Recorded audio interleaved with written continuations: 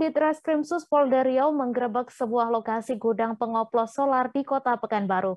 Gudang tersebut berada di Jalan Melati, Kelurahan Binawidia, Kecamatan Binawidia. Dalam penggerebekan ini, polisi mengamankan seorang pria berinisial RM selaku penjaga gudang tersebut. Untuk informasi selengkapnya akan disampaikan langsung oleh rekan jurnalis Tribun Pekanbaru, Rizky Armanda, yang kini sudah terhubung bersama kami. Silakan, Rizky. Baik, terima kasih, Mei.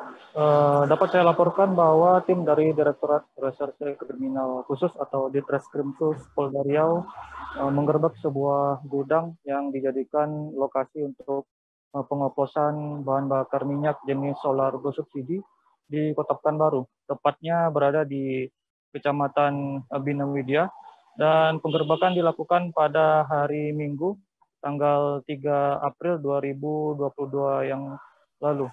Dan dalam penggerbekan ini polisi berhasil mengamankan satu orang eh, pelaku yakni berinisial RM usia 26 tahun dan RM ini merupakan uh, karyawan dan juga sekaligus penjaga gudang uh, tempat pengoplosan solar BBM uh, bersubsidi tersebut. Dan dalam hal ini pihak kepolisian juga masih memburu satu pelaku lainnya yakni berinisial FG yang juga sudah ditetapkan uh, masuk dalam daftar pencarian orang. FG diketahui merupakan uh, pemilik dari uh, gudang pengoplos solar tersebut. Uh, disampaikan oleh Kabit Humas Polda Riau, Kombes Pol Sunarto, adapun uh, barang bukti yang diamankan yakni sekitar uh, 30.000 liter uh, minyak hasil oplosan, di mana para pelakunya ini uh, mengoplos solar uh, subsidi uh, dengan minyak mentah yang didatangkan dari daerah uh, Jambi dan kemudian untuk hasil uh, minyak yang sudah dioplos uh, didistribusikan di Provinsi Riau sendiri dan juga Provinsi Sumatera Barat.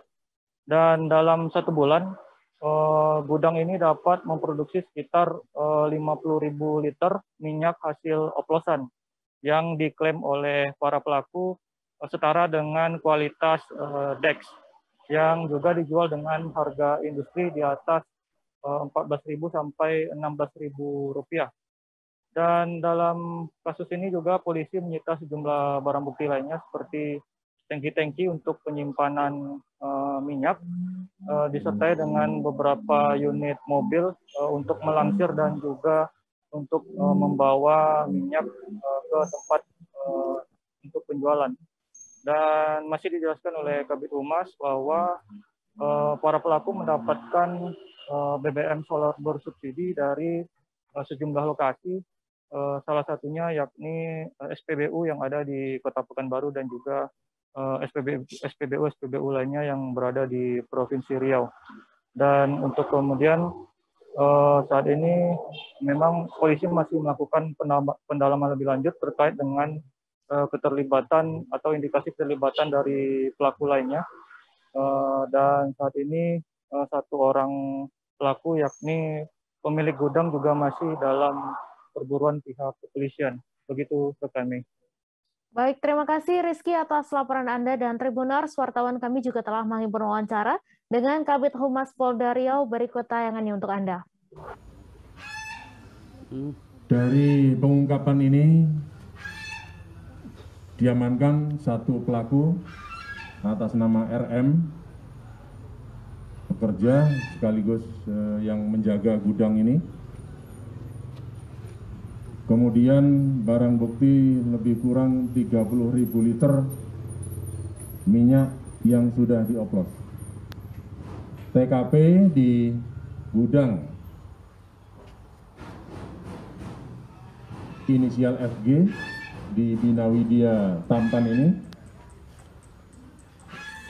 Uh, dengan kronologis sebagai berikut bahwa kita dapatkan informasi dari masyarakat tentang adanya kegiatan ilegal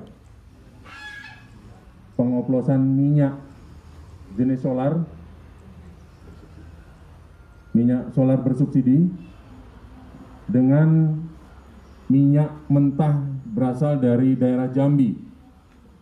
Jadi minyak tersebut dioplos di sini dengan komposisi tertentu sehingga kemudian menghasilkan eh, seperti minyak solar yang tanpa subsidi.